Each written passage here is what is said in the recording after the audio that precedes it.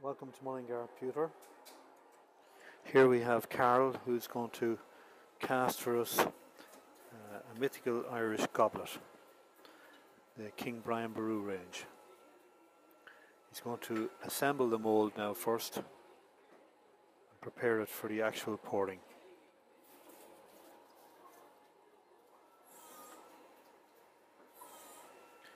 We've placed the mould, a steel mould, in a bath of metal where we heat heat all the items, all the different parts.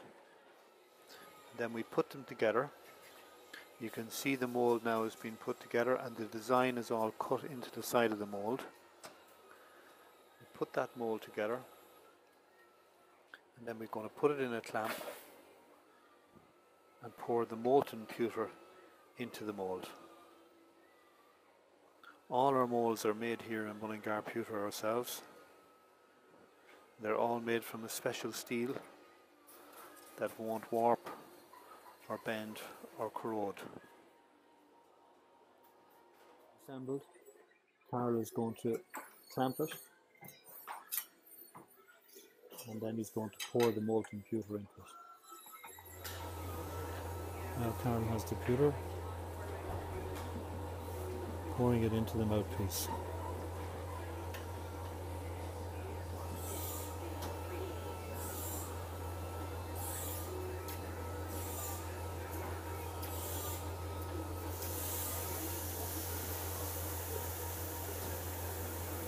We just cool the mold over about five minutes. The piece is now set and we're going to knock the mold apart.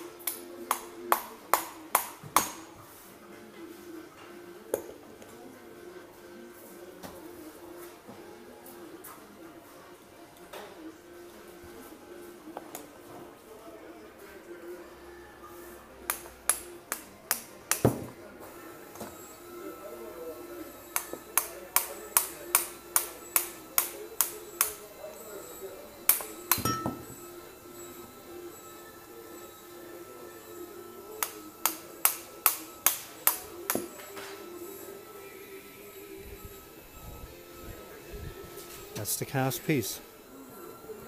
MullingarPewter.com. After each piece is cast, it's then blackened. And you can see that process happening here. Uh, it's a special patina that we put on each piece so as to help enhance the contrast of the goblet.